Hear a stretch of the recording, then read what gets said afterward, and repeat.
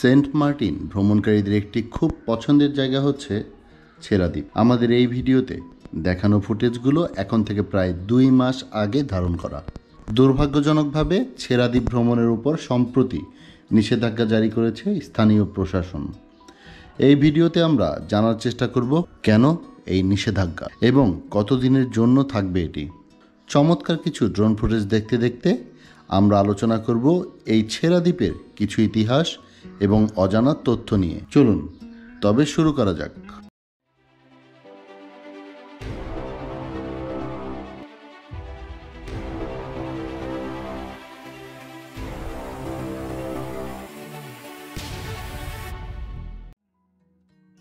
এক লক্ষ সাতচল্লিশ হাজার বর্গ কিলোমিটারের বাংলাদেশ। মানচিত্রের সর্বদক্ষিণের বিন্দু এই ছেড়াদ্বীপ এবং বাংলাদেশ ভূখণ্ডের সর্বশেষ অংশ এটি। স্থানীয়রা এটিকে ছেড়াদিয়া নামে ডাকে। সেন্ট মার্টিনের মূল ভূখণ্ড থেকে বিচ্ছিন্ন বলেই এই অংশটুকুর নাম ছেড়াদিয়া।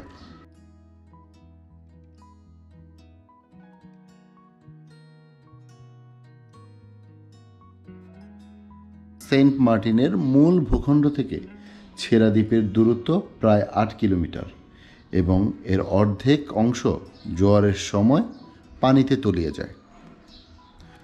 সম্প্রতি স্থানীয় প্রশাসন সেন্ট মার্টিন ভ্রমণের সুযোগ সীমিত করার প্রস্তাব রেখেছে। যার ফলে তাদের প্রস্তাব অনুযায়ী মাত্র দুইটি করে জাহাজ টেকনাফ থেকে সেন্ট মার্টিন পৌঁছাবে। অর্থাৎ যেখানে প্রতিদিন প্রায় পাঁচ হাজার পর্যটক সেন্ট মার্টিনে যাতায়াত করত, সেই নাম্বারটি কমে এখন পনেরোশো থেকে দুই হাজারে পৌঁছবে। মানে প্রতিদিন প্রায় তিন হাজার পর্যটক সেন্ট মার্টিনের সৌন্দর্য দেখা থেকে বঞ্চিত হবে। এর পাশাপাশি ছেড়াদ্বীপের অংশটুকু ভ্রমণে সম্পূর্ণভাবে নিষেধাজ্ঞা জারি করেছে প্রশাসন। যদিও এই নিষেধাজ্ঞা গত তিন মাস আগে থেকেই কার্যকর ছিল, কিন্তু এখানে ছিল না প্রশাসনের কোনো কড়াকড়ি। সেই সুযোগে পর্যটকরা ঘুরে বেরিয়েছে ছেড়াদ্বীপ উপভোগ করেছে এর সৌন্দর্য। কিন্তু গত এক সপ্তাহ যাবৎ ছেড়াদ্বীপ ভ্রমণে স্থানীয় প্রশাসন নিয়োগ করেছে তাদের জনবল, যাতে করে পর্যটকরা এই অংশে প্রবেশ না করতে পারে। তাই সেন্ট মার্টিন যারা যাওয়ার প্ল্যান করছেন, তারা ডেফিনেটলি ছেড়াদ্বীপটা মিস করবেন এবার। অবশ্য এই ছেড়াদ্বীপ ভ্রমণের নিষেধাজ্ঞা অথবা সেন্ট মার্টিন ভ্রমণের সীমিত করার প্রস্তাব সব কিছুর জন্যই দায়ী আমার আপনার মতো পর্যটকরাই। যত্রতত্র ময়লা, প্লাস্টিকের আবর্জনা ফেলে এই দ্বীপের প্রচুর ক্ষতি সাধন করেছি আমরা।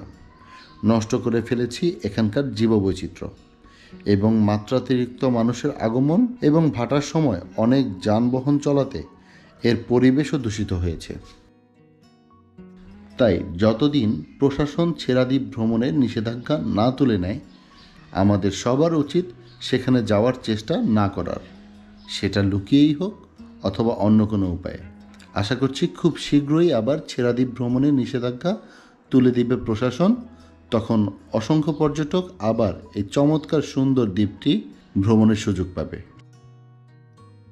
আমার ড্রোনে ধারণ করা অল্প কিছু ফুটেজ আপনাদের জন্য এখানে শেয়ার করলাম, যাতে ছেঁড়া দ্বীপের সৌন্দর্য আপনারাও কিছুটা অবলোকন করতে পারেন। আর এই ভিডিও ফুটেজগুলো যখন ধারণ করা, ওই সময়ে আমাদের পূর্ণাঙ্গ সেন্ট মার্টিন ভ্রমণের একটি ভিডিও আপলোড করা আছে আমাদের এই চ্যানেলে আই বাটন থেকে ঘুরে আসতে পারেন এই ভিডিওটি দেখার জন্য। দেখা হবে পরবর্তী কোনো ভিডিওতে ততক্ষণ পর্যন্ত ভালো থাকুন, সুস্থ থাকুন, দেখতে থাকুন ট্রাফুডো। আসসালামু আলাইকুম।